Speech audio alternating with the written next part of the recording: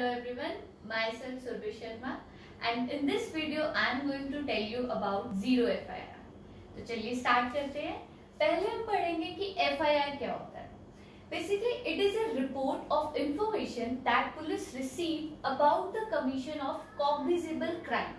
किसी भी क्राइम के होने के बाद पुलिस को जो इंफॉर्मेशन मिलती है उस क्राइम के बारे में, उसके बाद पुलिस उस बेसिस पर एक रिटर्न रिपोर्ट प्रिपेयर करती है and that is known as first information report now what is cognizable crime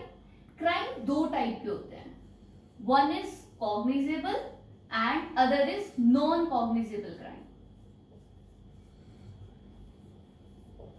cognizable crime are the serious crimes जिस क्राइम में पुलिस विदाउट अरेस्ट वॉरेंट किसी भी क्रिमिनल को अरेस्ट कर सकती है like rape cases murder cases attempt to murder cases उन cases में without court permission police can arrest without warrant and in non cognizable crime these are petty crimes छोटे मोटे क्राइम जैसे किसी की जेब काटना छोटी मोटी लड़ाई हो जाना, इन इन केसेस के अंदर पुलिस को अरेस्ट वारंट की ज़रूरत होती है। I R now who can file F I R F I R को फ़ाइल कौन कर विक्टिम करवा सकता है। विक्टिम के बिहाफ पर उसकी फ्रेंड या फैमिली मेंबर्स करा सकते हैं। या फिर उस क्राइम प्लेस पर जो भी आई विटनेस अवेलेबल है, वो भी एफआईआर को फ़ाइल करा सकते हैं। Now next thing is why FIR is so important because it is the first step first step to start investigation without information police case को स्टार्ट नहीं कर सकती केस की इन्वेस्टिगेशन को स्टार्ट नहीं कर सकती। इसलिए एफआईआर को फ़ाइल करवाना बहुत ही ज़रूरी होता है। अब बात करते हैं ज़ीरो एफआईआर के बारे में। ज़ीरो एफआईआर का कॉन्सेप्ट कहाँ से आया और ये क्या है? बेसिकली हम सबको याद होगा कि 2012 में एक रेप केस हुआ था and that is known as Nirbhaya rape case और वो रेप केस मूविंग बस में हुआ था। तो उसकी वजह से विक्टिम की फैमिली को बहुत ज़्यादा प्रॉब्लम हुई थी कि वो किसी भी पुलिस स्टेशन में जाते थे तो उन्हें कहा जाता था कि ये क्राइम हमारे एरिया में नहीं हुआ। तो that is the issue of jurisdiction her police station उन्हें ये कह के हटा देता था या दूसरे स्टेशन पे रेफर कर देता था कि ये क्राइम हमारे एरिया में नहीं हुआ,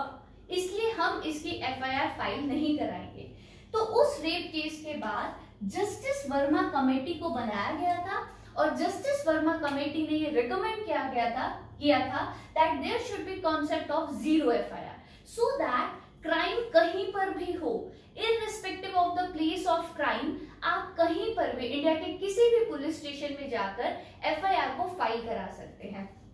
So this is about zero FIR अब बात करते हैं कि इसको नाम ज़ीरो एफआईआर क्यों दिया गया?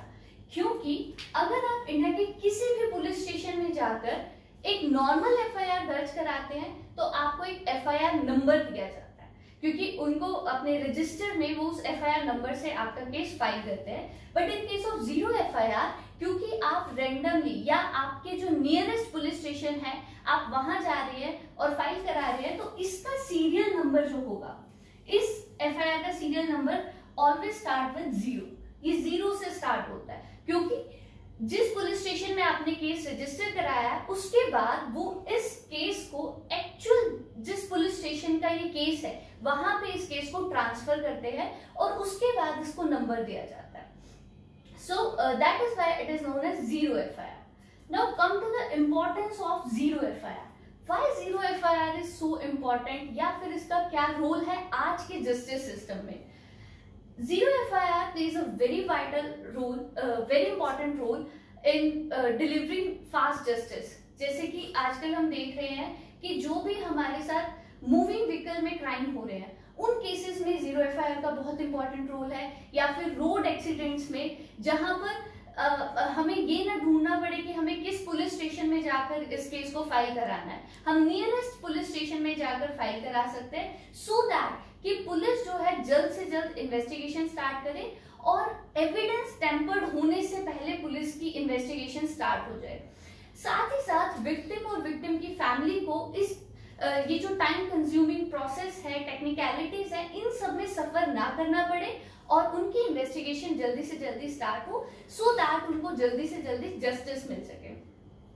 रिसेंटली हाथरस रेप केस हुआ, जिसमें हमने फिर से देखा कि ministry of home ministry of home affairs ने एक गाइडलाइन जारी करी है, जिसमें पुलिस को ज़ीरो एफआईआर पे एम्फेसिस देने के लिए कहा गया है, इसको प्रॉपर इम्प्लीमेंट करने के लिए कहा गया है। हम सब जानते हैं कि ये कॉन्सेप्ट ये बातें पेपर पे लिखी हुई बहुत अच्छी लगती हैं, लेकिन इनका इम्प्लीमेंटेशन आज भी बहुत अच्छे से नहीं हो पा रहा है, जिसकी वजह से हमारा जस्टिस सिस्टम बहुत फास्ट नहीं हुआ। जितना जल्दी ये ज़ीरो एफआईआर का कॉन्सेप्ट हमारे ग्राउंड में इम्प्लीमेंट होगा, उतना ही जल्दी हमारा जस्टिस भी फास्ट हो जाएगा। So this is all about zero F I R hope you understand thank you